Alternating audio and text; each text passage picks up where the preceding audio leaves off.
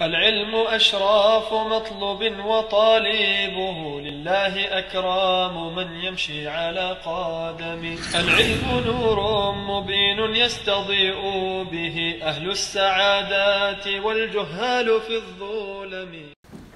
طيب. بسم الله الرحمن الرحيم. الحمد لله رب العالمين والصلاة والسلام على أشرف الأنبياء والمرسلين. طيب 40 line 45 the Sheikh says رحمة الله عليه وكل مشغول فلا يشغل مثاله المرهون والمسبل طيب وكل مشغول فلا يشغل the one who is or everything that is preoccupied should not be occupied further. So if something is bu- if someone is busy with something or is occupied with something, then they shouldn't be occupied further. And the Sheikh mentioned an example for al-marhun, Al Rahan endowment, or the Musabbal. the meaning of this qa'idah is if a person is doing a certain ibadah or a certain method and transaction, then they cannot be occupied with something else. For example, if you hire someone to do DIY for you, and you say to them, I'm going to pay you from 6 a.m. up until 6 p.m. I'm going to pay you for a whole day, and you need to build me, مثلا, build a shed for me from 6 to 6, if you're paying him for the time, and you're saying from 6 to 6, I'm paying you to build me a shed. Between this time, 6 and 6, this individual can't do anything else. He can't go out and work or work for someone else or build something for someone else. Why? Because he is mashghul, he is busy with this action, or he's busy with this transaction. Likewise, if you say to him, مثلا from 6 to 12, I want you to build this for me. Between 6 to 12. طبعا he gets it done. Like in between 6 and 12, he can't go out and do any other work because he's, also, he's already occupied with the work that he's carrying out for this individual.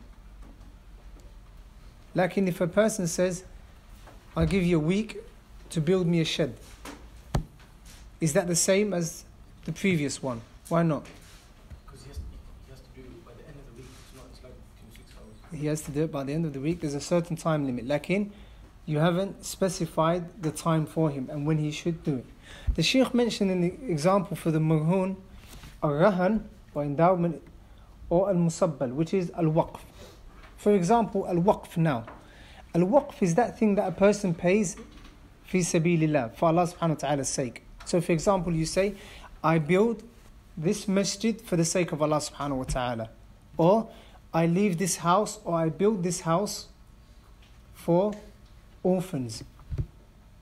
So if a person builds مثلا a masjid lillahi subhanahu wa ta'ala, that masjid is waqf. He can't turn around some years later and say, the area is booming now, there's a lot of people, I'm going to destroy the masjid and make a, a tower block so I can get more money from renting out the flats. He's not allowed to do so. Why? Because this item, at this particular moment, this masjid is waqf. So if something is waqf, it is mashghul, it is busy with in the sabil of Allah subhanahu wa ta'ala, fi sabilillah. Also a rahan, for example. Or mathalan orphans, when you want to build an orphanage. You've built methan a house and you say that house is only for orphan, orphans. Sometime later, you can't turn around and say, I'm going to change it from being an orphanage to uh, مثلا a youth club or uh, مثلا a masjid. You can't change it. Why? Because it is waqf lillah subhanahu wa ta'ala. Also, marhun. Endowment or rahan is, مثلا if you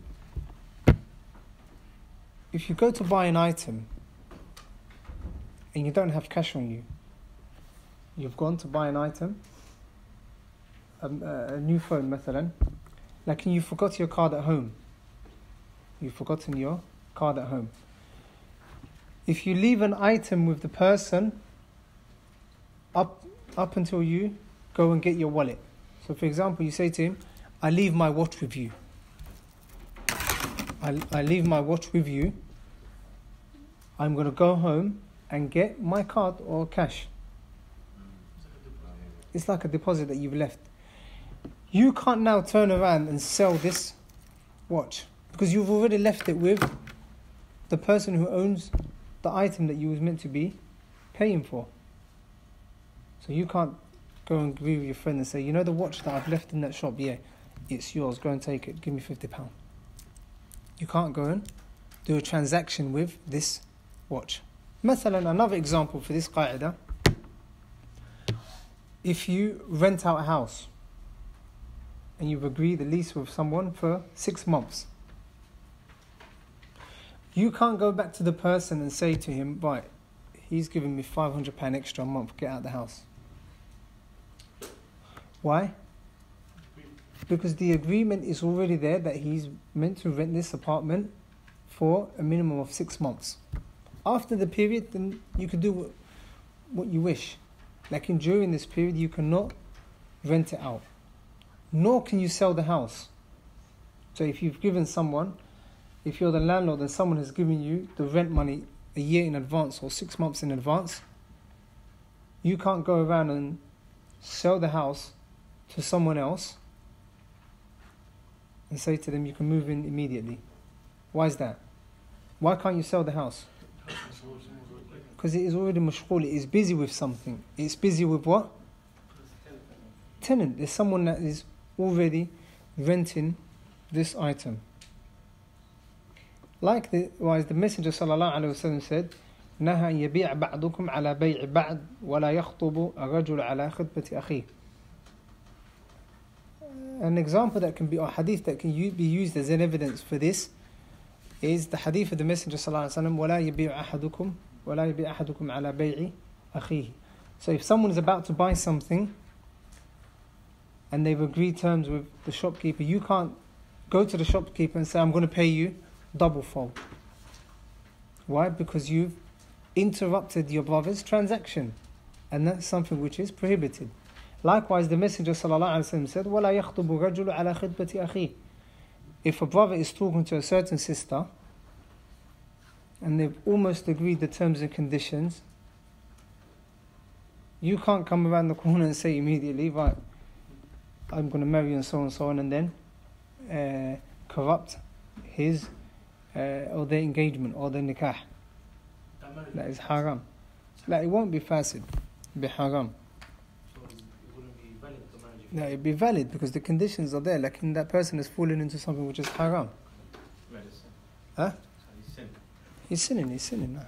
Because obviously, the Messenger wasallam prohibited a person from doing such a thing. A person is about to marry a, a sister, and then another brother comes along and interrupts and hijacks the whole nikah. It's haram.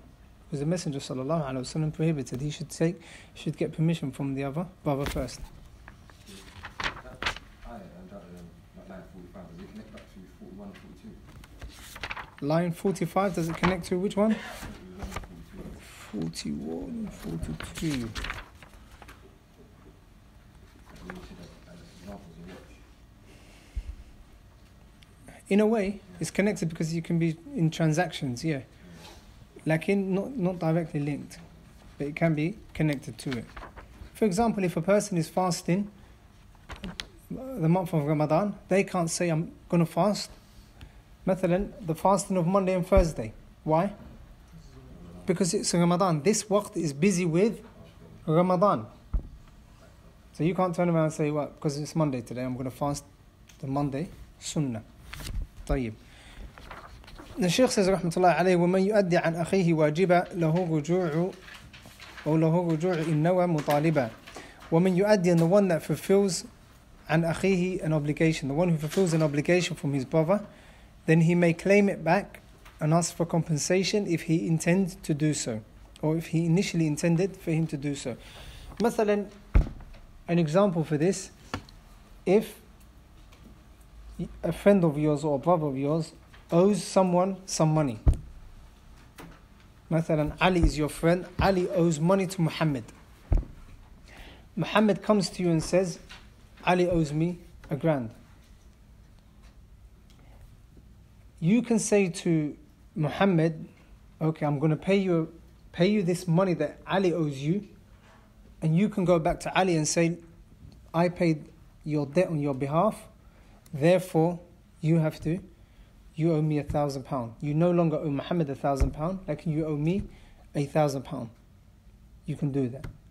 Or, مثلا, if a person is traveling and he's gone far and his wife and children are at home, like and he hasn't left them any money for them to do their shopping or whatever, um, he can, on behalf of his brother, buy them shopping, do everything for them, and then later on say to him, Right, I've spent such and such X amount of money on your family, and you need to pay me back because it was money that I provided to your family or I gave to your family.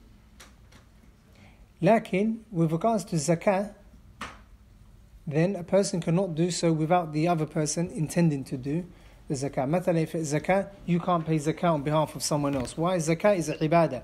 And a ibadah requires niyyah, intention. And the ibadah requires intention. طيب. That is if he, طبعا, if he intended for him to, or intended to ask for the, for whatever it was that he paid. So, you need the um, person's permission to do so beforehand? Some scholars say you need the person's permission. That's why there's khilaf in this issue. Like in, I didn't go into the khilaf because maybe later on in the other courses we'll go into it. Like in, some scholars say that he doesn't have a right to claim or ask for it back because he can turn around and say, I never asked you to pay the money on my behalf. Yeah? And if he does so, he's well in, he's well in his right. He can say, I'm not going to pay you back. Because maybe he didn't even intend to pay this individual back. Or maybe he doesn't have money to pay him back. In which case, it's permissible for him to delay the repayment of that debt. Lakin, if he did intend to pay him, the first individual, then he can pay him, lakin it will be at a delayed time. Because obviously he may not have the money to do so. طيب. The last line that the Shaykh mentions والوازع الطبيعي والوازع الطبيعي طبيعي عن العصيان كالوازع الشرعي بلا نكران The natural deterrent to sins or something which is disliked كالوازع الشرعي is similar to the legislative or the legislation which is a deterrent for sins. In the Sharia of Islam, we have uqubat, we have punishments. Some sins or some acts have a specific punishment. مثلا, the, the thief, his hand is to be chopped off. مثلا, the zani, to be lashed. Or مثلا, the, the, the zani who has been through marriage, to be stoned, and so on. So these punishments are to be found in the Quran and the Sunnah. Lakin, there are things that are prohibited to do, lakin there's no text from the Quran and the Sunnah stating a certain punishment. Lakin, these things naturally, people determine, people often stay away from these things. مثلا, eating najasat or drinking najasat, things are, which are najis. It's haram. Like, and there's no punishment for it. Because the natural deterrent is that people often stay away from drinking najasat, methanol, urine. There's no punishment for drinking urine, like, and it is haram. And it is relied upon the fact that naturally humans tend to stay away from things like that. Also, eating methanol or drinking poison if a person drinks poison, it's haram, sah? Not in terms of wanting to commit suicide, like in just drink, drinks poison for the sake of it, it is haram. Like in there's no specific punishment. Rather, what is relied upon, what is expected, is that a person naturally stays away from these things. So that is the meaning of wazi' tab'i, something which is naturally a deterrent. Which is naturally a deterrent. Which is in opposition to those acts that require a certain punishment. Um, now, so for those things that don't have a certain punishment, they're haram. Like in, because there isn't a certain punishment for them, a person may be, it may be left to the judge or it may be left to the person not being punished. Like in it is still a sin that he is, or something which is disliked. For مثلا, a person drinking poison is what? Harming oneself. And harming yourself is what? Haram. La darara wa la dirar. There's no harming of oneself and no harming of others. The Shaykh says, وَالْحَمْدُ لِلَّهِ عَلَى التَّمَامِ فِي الْبَدْءِ وَالْخِتَامِ وَالدَّوَامِ And praises, all praises due to Allah subhanahu wa ta'ala in the beginning and in the ending and always. ثم الصلاة مع سلام شائع على النبي وصحبه والتابعي And then peace and salutations upon the Messenger sallallahu alayhi wasallam وصحبه and his companions والتابعي and anyone that follows the Messenger and the Tabi and the Sahaba ridwanullahi ta'ala alayhim ajma'in. طبعا that is the last line of this short uh, these short lines of poetry by Sheikh Abdul Rahman al-Sa'di in the science of Al-Qawa'id al-Fiqhiyya. And as planned, hopefully we'll study another two times. Why? Because the more you study a book, the more you'll be grounded in it, the more you will benefit. Some of the scholars from the students of Imam Shafi'i, some of them read Al-Muz, uh, Imam, Imam Muzani so, uh, read Al-Risala Imam Shafi'i. Imam Risala, Imam Shafi'i has a book called Al-Risala, the first book to be written in Usul al-Fiqh. His student Al-Muzani read, I believe it was Muzani, read the Sheikh's or uh, Risala, this book, 80 times. And on each time, he benefited something which he hasn't, or which he had not previously benefited from the same book. So hopefully, we'll study this book another two times. This time round, we were only going into the matan or the meaning of the words of Sheikh Sa'di. the next two times, hopefully, we'll delve a bit deeper. Um, also, it's important for a person to seek knowledge, learn about his religion. For knowledge isn't only for knowledge of Islam, isn't like knowledge of worldly affairs. For example, if someone wants to learn medicine, they'll go to the Department of Medicine. And when you do go to the Department of Medicine, you'll only see students start studying that field. If you go to the Department of Engineering, then you'll only find students that are studying engineering in that department. صح? طيب. And any other field. Lacking with Islam, every single Muslim is required to learn about his or her religion. The Messenger sallallahu alaihi wasallam said, "طلب العلم فريضة على كل مسلم." Seeking knowledge is wajib, farida, wajib upon every single Muslim. So if a person doesn't know how to pray and they're able to learn how to pray, then they are sinning every time they pray incorrectly. If a person cannot worship Allah subhanahu wa ta'ala upon tawheed, but they have the ability to learn, then they are sinning and they are blameworthy. If a person has the ability to learn the sunnah of the Messenger sallallahu alaihi wasallam, the guidance of the Messenger sallallahu alaihi wasallam, lakin he refuses to do so, then he or she will be sinning. And you're all young. There's nothing preventing you from learning the religion of Allah subhanahu wa ta'ala. And you don't learn the religion only in order to become only to become scholars. Like you learn the religion to be able to worship Allah subhanahu wa ta'ala. Imam Ahmad rahmatullahi alayhi he said that a person is more in need or in need more of knowledge than food and drink. Because the life of the Muslim is always connected to Allah subhanahu wa ta'ala. When you're eating, you need to know the dua for eating.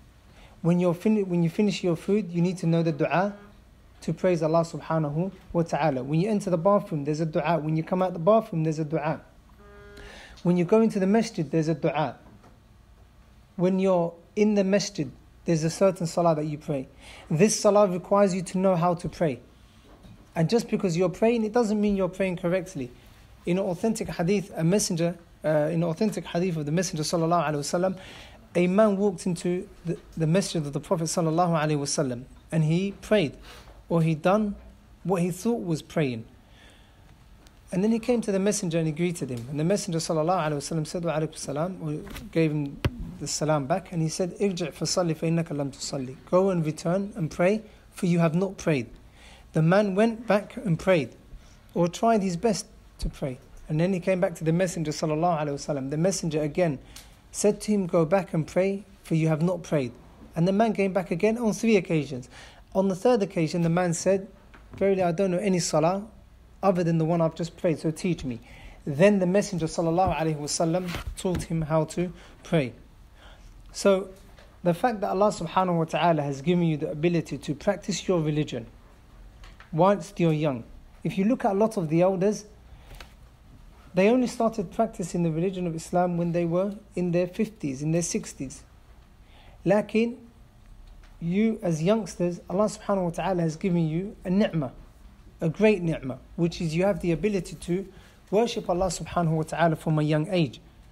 And from the authentic hadith that have been narrated from the Messenger sallallahu alaihi wasallam, he said that from or there'll be seven types of individuals who shall be under the shade of Allah subhanahu wa ta'ala. Under the throne of Allah subhanahu wa ta'ala, under his shade, Yawm al Qiyamah, when the sun is at the heads of the people. From these individuals is a young man or young woman who grew up in the worship of Allah subhanahu wa ta'ala. Who grew up in the worship of Allah subhanahu wa ta'ala. Every single one of you, brothers and sisters who are sitting here, has the ability to come under that hadith. Has the ability to come under that hadith. And knowledge, worshipping Allah subhanahu wa ta'ala upon knowledge is like none other. It, it has a certain taste. If Allah subhanahu wa ta'ala grants it to you, then you will know that knowledge is more precious than anything that a person can be given. You will be able to worship Allah subhanahu wa ta'ala. Mathalan, it'll make ibadah easier for you. You'll be able to learn, mathalan, simple acts like how to wipe your socks. When you're making wudu, when can you wipe your socks? How to wipe your socks? The time that you have to wipe your socks. When you're traveling, the fact that you don't have to fast. The fact that you know how to combine your salah, which naturally, naturally makes life easier for you. For if you're traveling, you may find it difficult to find a masjid or somewhere to pray. Like if you know that from the Sharia that you're allowed to combine the Salah, you can pray Maghrib and Isha at the same time. And then the whole night you can, you're free to do what you want. Or you can pray Asr and Dhuhr at the same time, and during the whole day you can do what you want because you're traveling. So knowledge, it makes ibadah easier for you. It brings you closer to Allah subhanahu wa ta'ala. And if a person has good intentions, then he'll be rewarded for every single act, every single ibadah that he does. Mathalan, even for a person getting married, a person can be rewarded. People end up being married 10, 20, 30, 40, 50, 60 years. Imagine being rewarded for every single day of your married life, marriage life. Because it requires an intention. So don't be someone who seeks knowledge one week and then doesn't seek knowledge the other week. Know that knowledge is what brings you closer to Allah subhanahu ta'ala. Any questions by homework?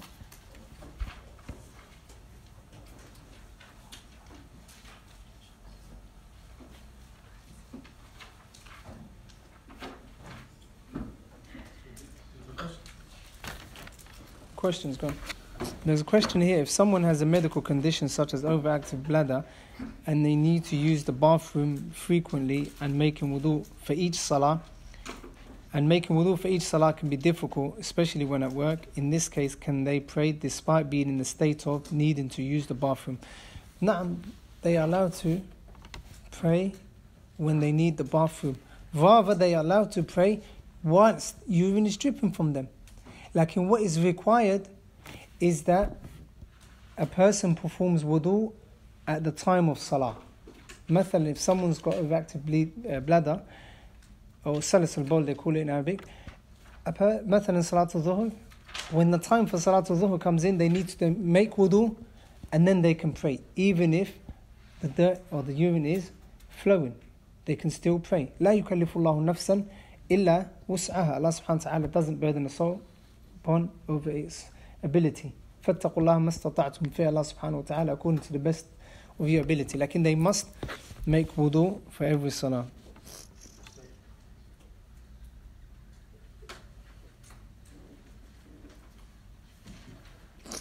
If someone is suffering from evil eye, is it obligated or is it permissible to go to a raqi? As I have recently read in an article that's stating that ruqya clinics are not part of the sunnah. Is it also permissible to listen to ruqya audio? Um, it's permissible to go to someone to read the Quran on you. It's permissible. Ruqya is permissible. The Messenger sallallahu performed ruqya and Abu Sa'id al-Khudri performed the ruqya. Rather, he read Quran upon a non-Muslim and he was cured. So the Quran is a shifa. So asking someone to read ruqya on you is permissible. Um, as for the article that you read, uh, clinics, maybe it was referring to those people who open up clinics in order to just take wealth from the people. So anyone that comes to them, even if they've got epilepsy or anything, they say, no, there's jinn in you because obviously they require this person to keep coming back. So people do overdo it. Like just because there are people that overdo it and use it in ways which oppose the sunnah, it doesn't mean that the actual act of ruqya and going to a person can be called haram. Is it also permissible to listen to ruqya audio? Naam, it's permissible to listen to it on YouTube, like it isn't the same as reading Quran upon someone. It won't have the same effect. Just like we're meant to read Baqarah in our homes every three days, what is expected is that we read. Is that we read Baqarah. Like if we don't read Baqarah and we put the tape on, it's not the same, it doesn't have the same effect.